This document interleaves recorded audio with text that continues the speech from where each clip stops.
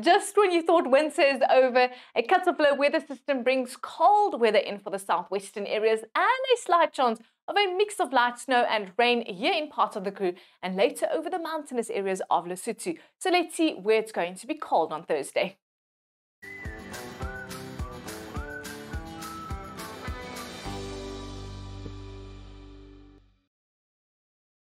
The low nears South Africa but remains south of the country. That's also where most of the severe weather will move. But early the morning, a band of thunderstorms already stretch over the northern Cape into the eastern Cape, later becoming scattered over the eastern areas.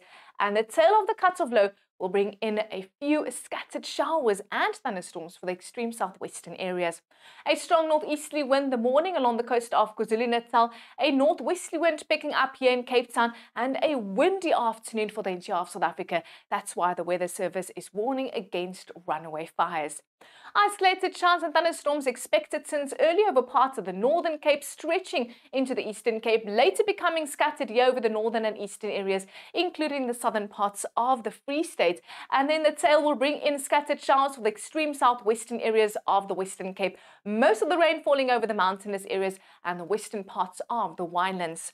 In the Western Cape, as mentioned, an icy cold west-northwesterly wind blowing, bringing in lots of cloud and isolated to scattered showers. A few thunderstorms also likely on Thursday, but as mentioned, most of the rain falling in the vicinity of Stellenbosch, Paarl and the mountainous areas. Remaining dry here in the Little Karoo as well as the Garden Route, maximum temperatures below 20 degrees. Early in the morning, a few thunderstorms already stretching from the northern Cape into the eastern Cape. It's a partly cloudy and windy day with thunderstorms later redeveloping and becoming scattered over the northern and eastern areas. And then into Thursday night, a few of those storms likely to move over the coastal areas. A strong northeasterly wind in the morning along the coast of KwaZulu-Natal. Later, a warm to hot day with 30 degrees in Pietermaritzburg as well as Ladysmith. Cold at first the morning in parts of Mpumalanga, but lots of high-level cloud moving over the province and maximum temperatures expected in the mid-20s and reaching 30 degrees in the low Lowveld. Also, a much warmer day ahead for Limpopo, some high level cloud moving over the province and maximum temperatures in the mid to upper 20s. It's a warm and windy day for Northwest, therefore, the South African Weather Service yet again warning against runaway fires. In the Northern Cape, it's cold over the southern areas with partly cloudy skies, mild over the interior and warm in the northern parts. Early the morning, a band of thunderstorms already stretching over the eastern areas.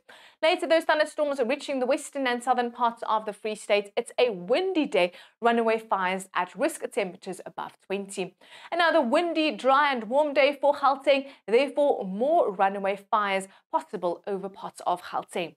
And then overnight into Friday, mainly dry conditions for South Africa. Only a few isolated showers likely over parts of KwaZulu-Natal, where it's also going to be much cooler and in parts of Mpumalanga.